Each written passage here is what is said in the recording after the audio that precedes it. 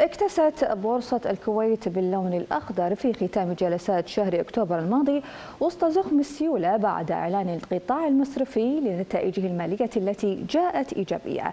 التفاصيل في التغيير التالي. محصلة أسبوعية خضراء لبورصة الكويت مع ختام شهر أكتوبر الماضي وسط زخم من سيولة التداول والتي سجلت نحو 1 مليار دينار. ارتفع مؤشر آه، سوق الكويت الأوراق المالية بمقدار 176 آه، نقطة.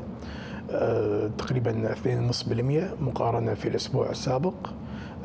متوسط قيم تداول في هذا الأسبوع كانت 90 مليون دينار مقارنة مع 60 مليون دينار في الأسبوع آه، آه، السابق آه، بارتفاع تقريبا 50% تركزت التداولات على بعض الأسهم في السوق الرئيسي اللي مثل ما نقول الشركات المتوسطة والصغيرة 11 قطاعا مرتفعا على رأسها قطاع منافع بينما تراجع قطاع التكنولوجيا مع استقرار قطاع الرعاية الصحية.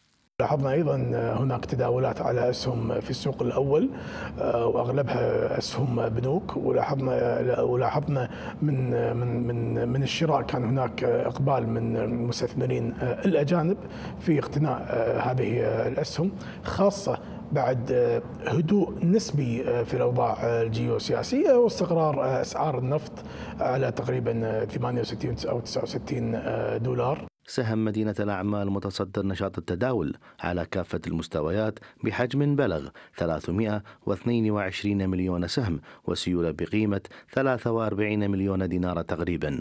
فيصل الجاسم قناة الأخبار.